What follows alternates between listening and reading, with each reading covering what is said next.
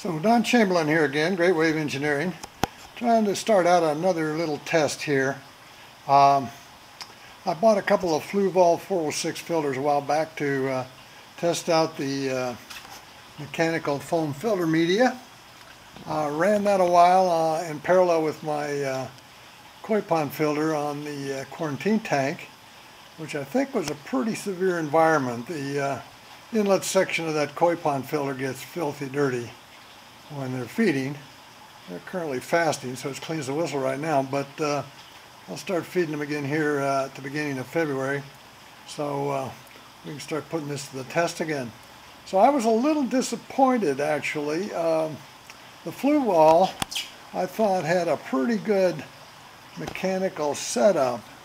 They've got these big blocks of coarse foam here where the water initially enters and then has to pass through. Those things are about a foot long. So the water has to pass down through that and then come back up through the bottom tray. And actually their, uh, their foam media they had in there from the factory was uh, looked pretty good to me, but uh, I replaced it with, uh, with my stuff for test purposes. Um, so I did a couple of tests um, uh, with the coarse uh, medium and then fine foam. Um, and uh, checked that after a few weeks and uh, was surprised to see how much dirt got through uh, the mechanical and into the biological section. wasn't very happy about that. But at any rate, the media seem, or the uh, foam filter media seemed to hold up okay, and it's been relatively popular.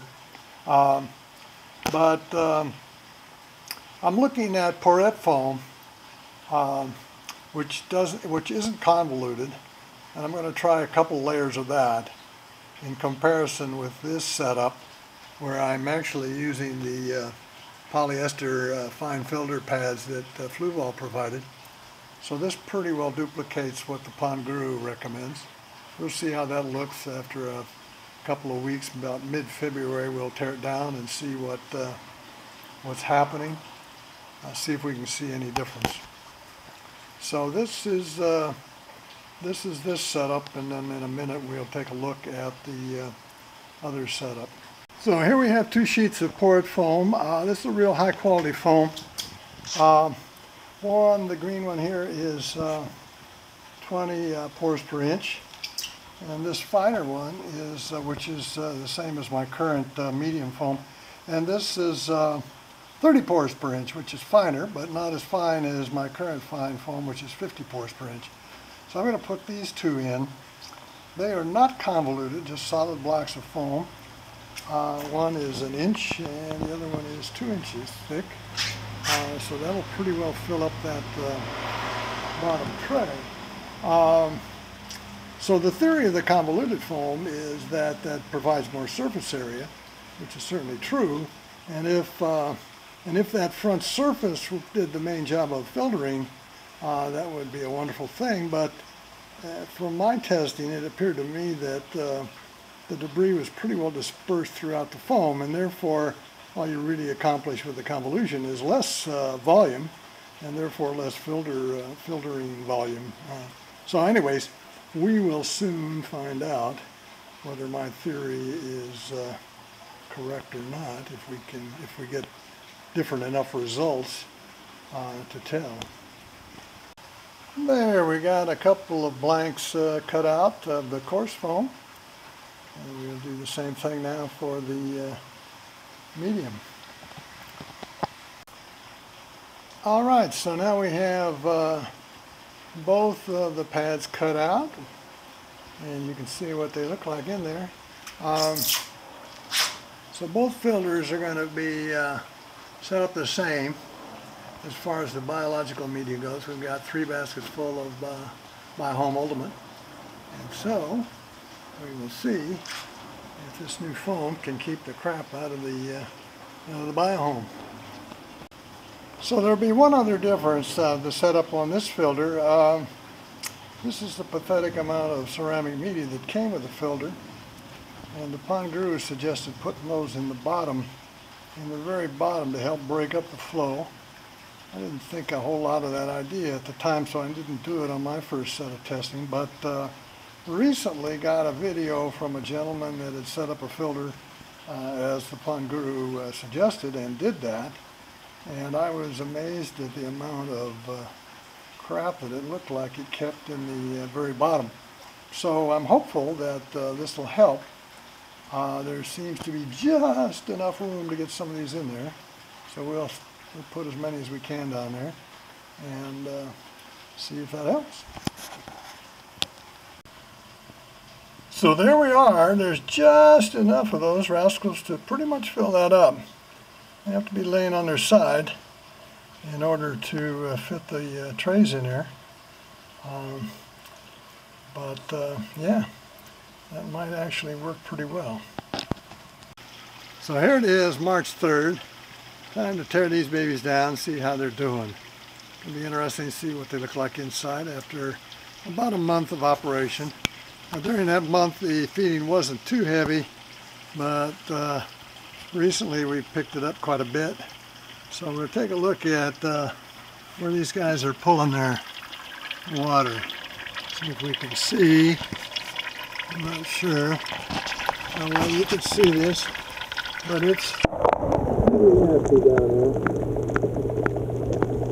So hopefully,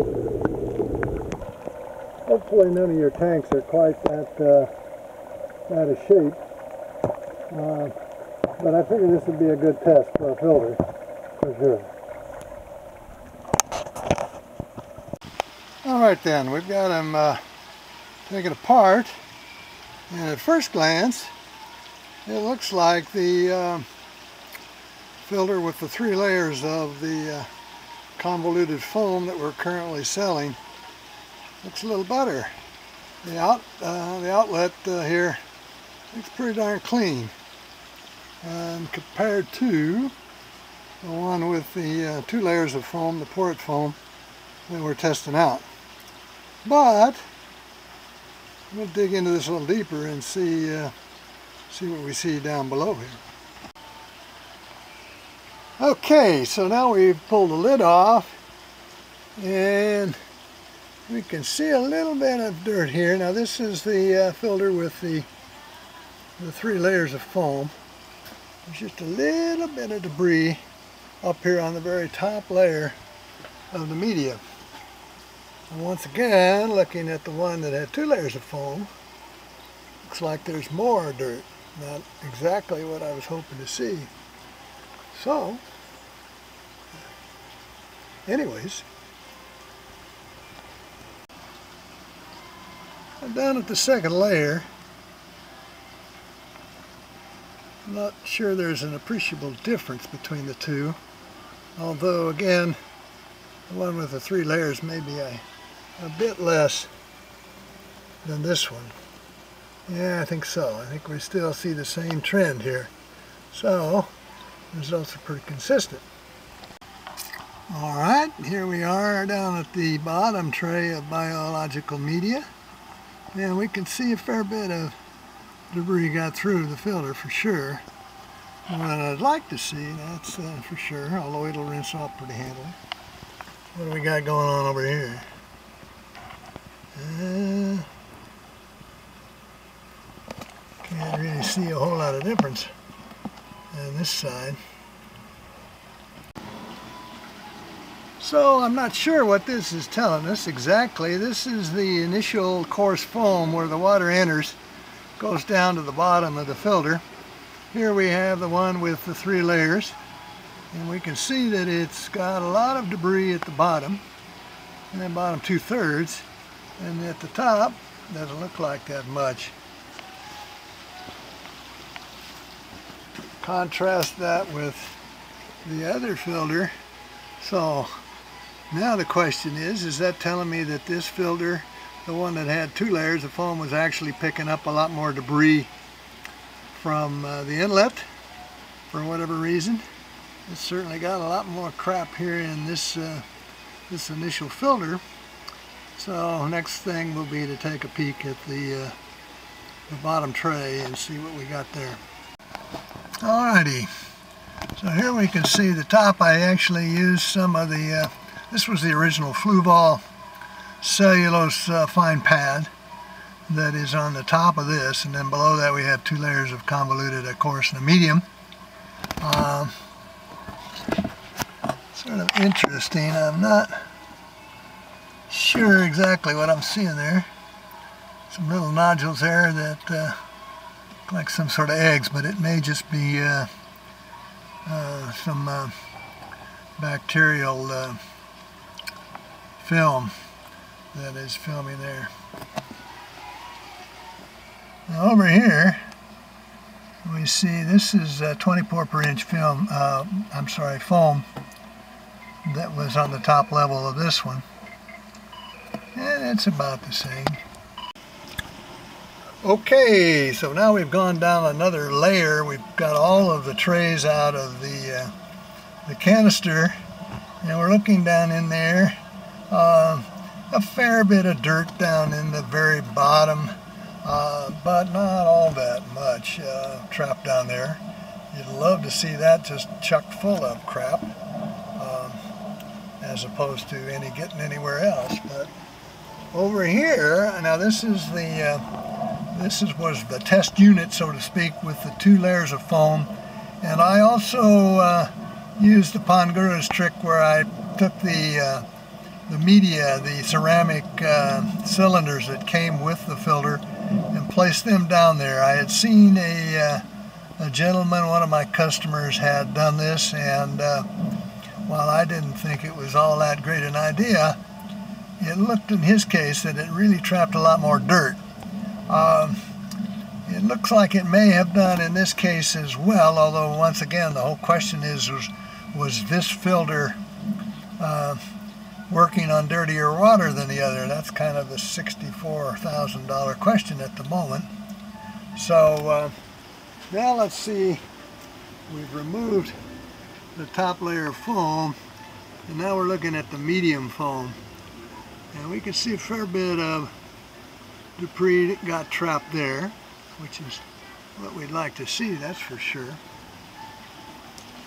We go over here we pulled off the medium foam and exposed the coarse layer of foam which is a big thick layer and sort of as I had seen before when I was first testing the convoluted foams the coarse stuff doesn't look to me like it does a whole lot.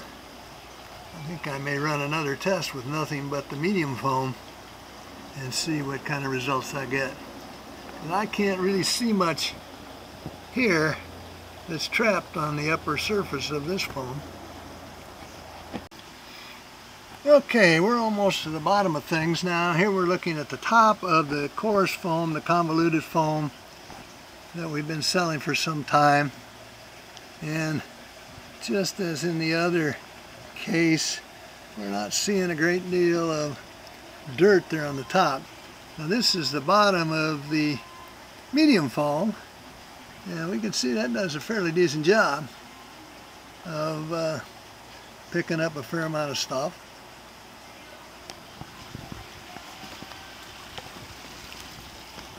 We come over here there was only two layers so now that tray is completely empty not a whole lot there in the bottom. Here we got the bottom of the medium foams. Again pretty nice loading there so it looks to me like that's doing a pretty decent job. I can't really see a great deal of difference between convoluted and this. Uh, however as the Pond Guru points out the convoluted has a whole lot more surface area. So if it is in fact true that most of the crap gets stopped at the first surface, then the convoluted foam makes a whole lot of sense. Now here we've got the bottom of the coarse foam. It's kind of interesting that that one corner seems to have picked up a whole lot more stuff. Not exactly sure what that signifies or whether I really like that. It kind of signifies to me some sort of channeling, but I'm not sure. But it certainly was really doing a nice job there. It uh, it got a lot of uh, stuff in that uh, first bit of foam. Okay, so now we're down at the bottom of the uh, three-layer filter and it does appear that it trapped more stuff in the bottom of that uh, bottom tray than the other one did. And here we're looking at the, at the uh, bottom side of the coarse foam and while it does appear that that same corner is a little more uh, debris filled than other parts of the filter. It seems like it's a little more uniform.